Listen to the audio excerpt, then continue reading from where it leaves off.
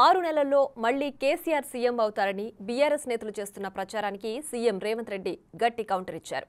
ఆరు నెలల్లో కేసీఆర్ సీఎం అవుతారంటూ కొందరు కలలు కంటున్నారని అలాంటి ఆలోచన చేసిన వారికి తెలంగాణ ప్రజలు ఘోర ప్రజలు ఎన్నుకున్న తమ ప్రభుత్వం ఐదేళ్ళు సుస్థిరమైన పాలన అందిస్తుందని రేవంత్ స్పష్టం చేశారు.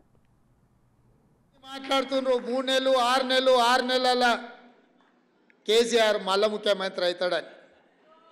అయ్యా!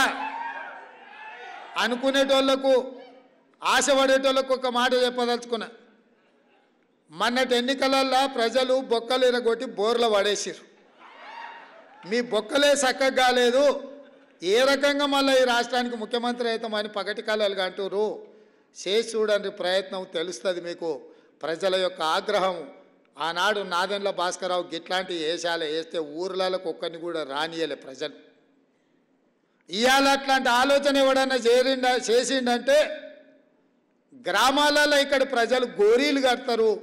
మళ్ళీ మీ గోరి మీరు కట్టించుకోవాలనుకుంటే బతుకుండగానే తెలంగాణ గోరి కట్టాలనుకుంటే ఇట్లాంటి విపరీతమైన కోరికలు మీ మెదడులో వస్తాయి. కొంతమంది మాట్లాడుతున్నారు